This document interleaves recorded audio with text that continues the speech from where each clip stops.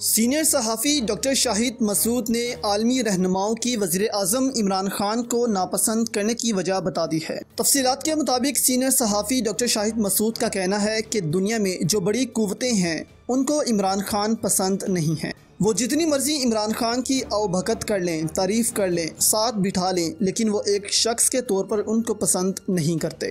اس کی وجہ یہ ہے کہ عمران خان جب سے پاکستان میں اقتدار میں آئے ہیں، عمران خان کے وزیر اعظم بننے میں کسی عالمی قوت کا کوئی کردار نہیں رہا۔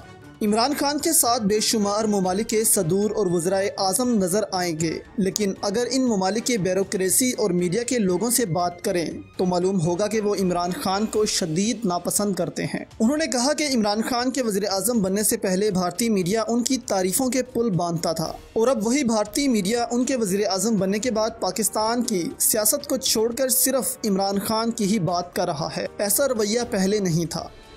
خیال رہے وزیراعظم عمران خان اس وقت نیو یارک میں موجود ہیں۔ ایک طرف جہاں وہ مقبوضہ کشمیر میں جاری بھارتی مظالم کو دنیا بھر میں اجاگر کر رہے ہیں وہی دنیا کو یہ بھی باور کروا رہے ہیں کہ اسلام صرف ایک ہے جو کہ امن پسند ہے اور اس میں انتہا پسندی کی کوئی گنجائش نہیں۔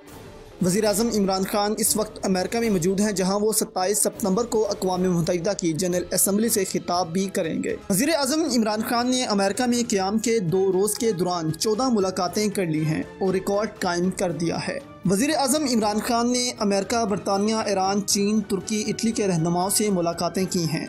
امریکہ میں قیام کے ایک ہفتے میں وزیر اعظم عمران خان ستر سے زائد میٹنگز کر چکے ہیں۔ ذرائع نے بتایا کہ ماضی میں کسی بھی پاکستانی حکمران کا اقوام متحدہ کی جنرل اسمبلی کے اجلاس کے لیے دورہ امریکہ کے دوران اس قدر بھرپور شیڈیول نہیں تھا۔ کہ یہ بھی کہا جا رہا ہے کہ عمران خان کی بڑھتی ہوئی مقبولیت سے عالمی رہنما بھی پریشان ہیں۔